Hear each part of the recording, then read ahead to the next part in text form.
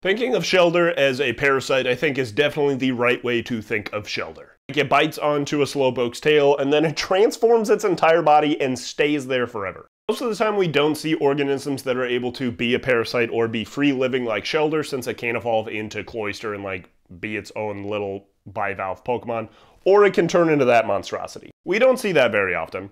But we do see some parasites just like bite onto living things and then just subsist off of their blood flow and even kind of replace parts of their body. Like this is effectively now Slowbro, Slowbro's entire tail. This is kind of a creepy image, so if you don't want to see it, back out now. Otherwise, this is like a fish louse. This is an isopod that bites onto the tongue of fish and then stays there and eats their blood.